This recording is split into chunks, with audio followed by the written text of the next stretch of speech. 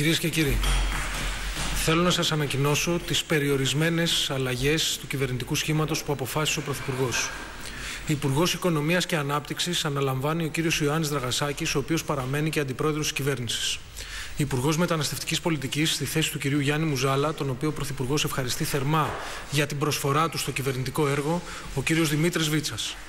Τη θέση του αναπληρωτή Υπουργού Εθνικής Άμυνας αναλαμβάνει ο κύριος Φώτης Κουβέλης. Επίσης, Υφυπουργός Παιδείας, Έρευνας και, Θρησκευμα... και Θρησκευμάτων ορίζεται η βουλευτής του ΣΥΡΙΖΑ, κυρία Μερόπη Τζούφη. Υφυπουργός Εργασίας, Κοινωνικής Ασφάλισης και Κοινωνικής Αλληλεγγύης, ο μέχρι σήμερα ειδικός γραμματέας του Σώματος Επιθεώρησης Εργασίας, κύριος Αθανάσιος Ηλιόπουλος. Και Υφυπουργός Πολιτισμού και Αθλητισμού, ο κύριος Κωνσταντίνος Στρατής. Οι αρμοδιότητες των νέων αναπληρωτών υπουργών και υφυπουργών θα καθοριστούν τις επόμενες μέρες, ενώ καμία άλλη αλλαγή δεν επέρχεται στο κυβερνητικό σχήμα. Ευχόμαστε καλή επιτυχία σε όλους και όλες τους. Σας ευχαριστώ πάρα πολύ.